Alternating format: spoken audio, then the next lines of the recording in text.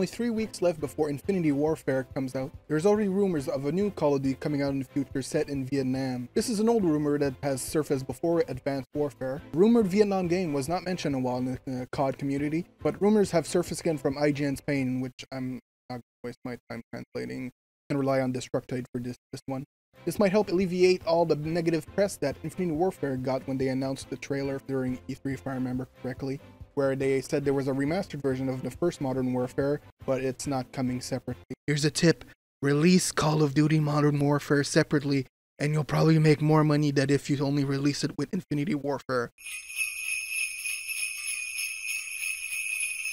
Nintendo finally announced their new console last week. The NX is now finally known as the Nintendo Switch. Now looking at the trailer, we can see that it will be a console and handheld hybrid. It features two controllers that can be slid on the side of the tablet looking console. Also will probably be available a Pro controller as shown in the trailer. Another cool feature from the NS is the two controllers on the side can actually be two different players playing one game at the same time. Now, hopefully you guys are enjoying the small little trailer right here, but I actually had to blur it out because Nintendo will actually ID block this. But it's okay, it's in the Wii U's native resolution. On Friday, SAG-AFTRA, short for let, let me let me don't have any glasses there, but short for the Screen Actors Guild American Federation of Television and Radio Artists, which really rolls off the tongue now, doesn't it? Went on strike after months of negotiating with big company. Now, just to clarify, by months, I mean 19 to be exact. The group was negotiating for safer work conditions and reasonable wage, just to name a few. Now, of course, here at last week's gaming news, hopes that this work conflict gets resolved very soon but personally, I would like to offer my service to these companies. I can do an Englishman. Hello, governor, would you like some TM crumpets? Or I can also do a nice southern accent. Now, you listen right here now, Billy Bob. You go get me my gun right now, you hear? Last week's gaming news would like to apologize for the offensive nature of the previous lines. Earlier last week, a leaked image from a Steam developer post, which was acquired by a member of a Facepunch forum, surfaced showing details of upcoming plans to tighten criteria on the storefront. One of the criteria that got the most attention was the misleading nature of some of the screenshots posted on the dev's front page. Here's the quote that was posted on the forum. We ask that any image you upload to the screenshot section of your store page should be screenshots and that show your game. This means avoiding using concept art, pre-rendered cinematic stills, or image that contains awards, marketing copy, or written product description. Please show customers what your game is actually like to play. One of the most recent blunders that falls under this cleanup is, well, you guessed it, No Man's Sky, which still features some image and videos that are not actually in the finished game. I know, I know, two weeks in a row dissing No Man's Sky. I really don't hate the game, I really like it actually, but unfortunately facts are facts and the game doesn't feature huge sand snakes, or creatures that look like they spent the last 15 years on high settings in a microwave.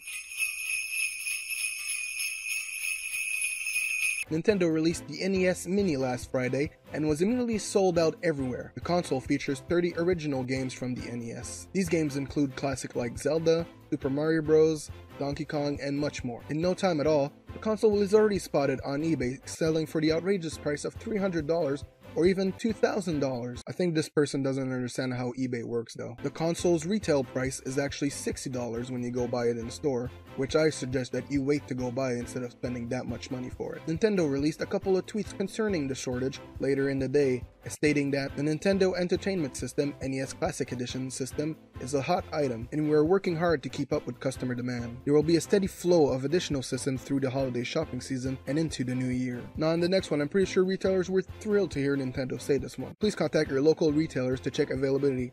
Selecting participating retailers can be found here. Now if you follow Nintendo's big line of releases in the last couple of years, this is a typical strategy that they do every time. Step 1, create big hype. Step 2, underproduce the product so you create a fake shortage. Step 3, make people go completely insane waiting for the hand-sized console. You know as much as I do that they're sitting on truckloads of these consoles right now. What do you mean they're not available anymore? Please, just let me buy one. Just please, please, please, just let me buy one of these consoles. Please, I'll do anything. I'll, I'll, I'll even go to your store and give you a blow.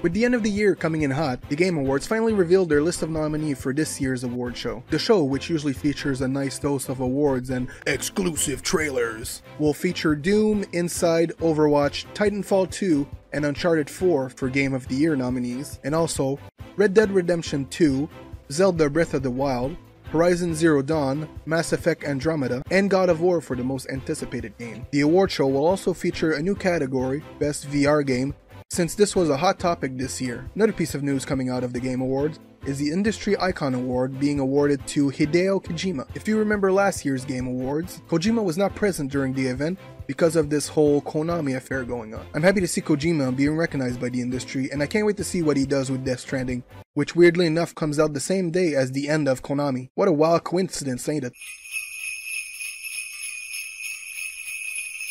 At the end of last week, Telltale Games has finally announced the release date for their up-and-coming Season 3 of Walking Dead. On December 20th, you will finally be able to play Clementine once again, and a new character is also introduced by the name of Javier, or Javier, I think.